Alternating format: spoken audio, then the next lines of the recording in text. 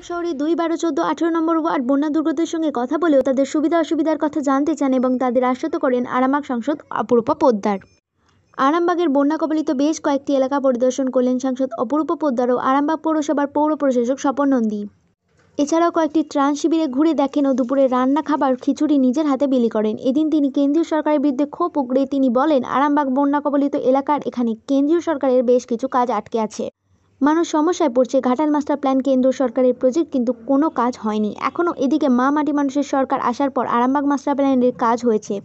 কিন্তু এখনও কিছু কাজ বাকি থাকায় সমস্যা হচ্ছে বন্যা নিয়ন্ত্রণ। অনেকটাই সম্ভব হয়েছে। তিনি আরও বলেন, বিজেপি একটা দল নাকি বিজেপি কি খায় না মাথায় দেয় তা আমার জানা নেই।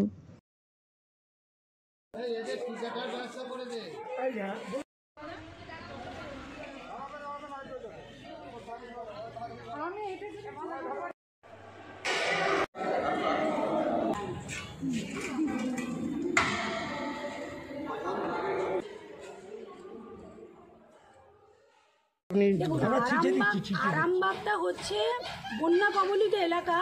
আজ পর্যন্ত কেন্দ্র সরকার ঘাটাল মাস্টার প্ল্যান করেনি কিন্তু আরামবাগ মাস্টার প্ল্যান করে মাননীয় মুখ্যমন্ত্রী আরামবাগের অনেকটা কিন্তু বন্যার সমস্যাটা মিটিয়েছে।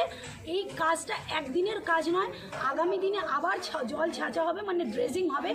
ধীরে ধীরে কাজ হয় কারণ বর্ষার দিনে তো কাজ হয় না। এবং যেখানে যেখানে বাঁধ আছে সেগুলোকে যাতে ভেঙে না যায় সেই পরিদর্শন আমরা করছি। কাজ চলছে। অনেক অনেক জায়গায় রেস্কিউ সেন্টারে তাদের তুলে নিয়ে যাওয়া এবং ফ্লাড সেন্টারেও আমরা নিয়ে চলে যাচ্ছি। তাদের যেরকম রাজ্য সরকারের পক্ষ থেকে দলীয় তৃণমূল কংগ্রেসের তরফ থেকেও আমরা ক্যাম্প করছি আমরা দেখছি যে কোথায় কি খাবার দাবারের অসুবিধা সেখানে আমরা তাদের ব্যবস্থা চাষে ব্যাপক ক্ষয়ক্ষতি হয়েছে জলের ডুবে। কৃষকদের জন্য মমতা দি যা করেছে বোধহয় ভারতবর্ষে এরকম কৃষকদের জন্য অন্য কোনো সরকার করেনি এবং এবং- এবং টাকা ডবল করেছে যেটা মমতা দি ভোটের সময় বলেছে মানুষকে মানুষকে সেই প্রতিশ্রুতি রেখেছে এবং আমরা কৃষকদের ডবল টাকা দিচ্ছি এবং কৃষকদের যে ক্ষয়ক্ষতি হয়েছে সেটা বিডিও অফিসে তারা জমা দিক। ইনভেস্টিগেশন করে দেখে নিশ্চয়ই সেটা হবে। এমনকি বজ্রপাতে যারা যারা মারা যাচ্ছে তাদের কোনো মৃত্যুই আমাদের কাছে দুঃখজনক। কিন্তু রাজ্য সরকারের কাছ থেকে টাকা কিন্তু সেখানে পৌঁছে যাচ্ছে। দিদি এখানে চারটি জায়গায় বিধানসভা বিজেপি জিতেছে। বিজেপি একটা কোনো দল ওটা মাথায় মাখে না গায়ে করে মানুষের পাশে কোনোদিনও থাকে। মানুষকে পনেরো লক্ষ টাকার প্রতিশ্রুতি দিয়ে নরেন্দ্র মোদী সরকারে এসেছিল। কোথায় গেছে? কৃষকরা দিনকে দিন মরছে সুইসাইড করছে। কৃষকদের পাশে নেই। তো এই ভারতীয় জনতা পার্টি শুধু আর নিজেদের ওনাদের নিজেদেরই রাজ্য কমিটি মেম্বারদের বলছে গো ব্ল্যাক স্লোগান। যারা বাংলা ঠিক করে বলতে পারে না তারা বাংলা দখল বন্যার জন্য কি ক্ষয়ক্ষতি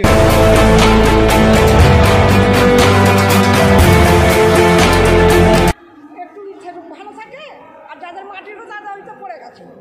আর আমি- আমাদেরকে পাকার ঘরে দেখে আমাদেরকে বেরোতেই হয়। মানে ওখানটা এমন অবস্থা হয়ে গেছে যে একটু জল হয়ে হলে পরে আমাদেরকে বেরিয়ে চলে যেতে হয়। মানে বিশেষ করে মানে তিন দিন তো এমনি ঘুম হয় না আতঙ্ক এই এলো এই এলো। ওই ঘুমাচ্ছি মানে একবার করে জানা দিয়ে রাত নদীর পাড় দিকে দেখতে যাচ্ছি। আর সেই ঘুমিয়ে গেছি আর মোটামুটি একবার পৌনে চারটের সময় দেখছি নদীর পাড় জল দেখতে গেছি এসে দেখছি বাইরে জল। এবারে মানে কি করে যাব সব বেরোবো কিছু ইয়ে থাকে না।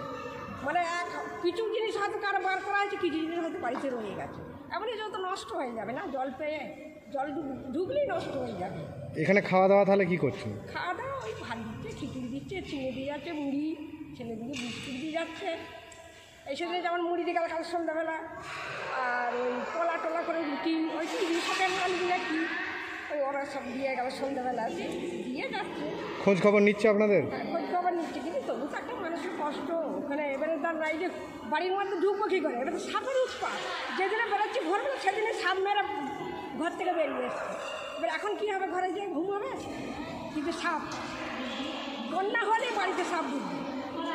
বন্যা হলে এটা প্রতিবার ছিল কিন্তু বন্যাটা কিন্তু একটা কথা কি জানি? সে সতেরো তো বন্যা হয়েছিল তিন বছর গ্যাপ গেছে আর এই একুশে আর এইটা হবে এটা আমরা জানি মানে নদী পাড় বাঁধি মানে এটা হবে।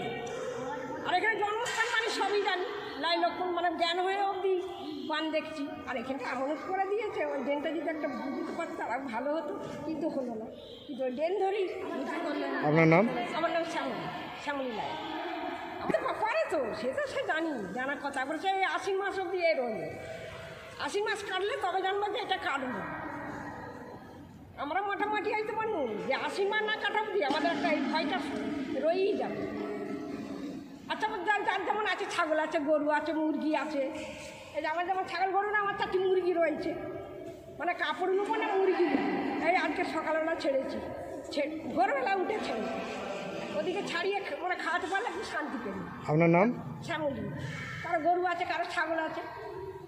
কত নম্বর ওয়ার্ডে বাড়ি? এটা আঠেরো। আপনার নাম কি? শ্যামলি শ্যামলি। শ্যামলি কি? শ্যামলি।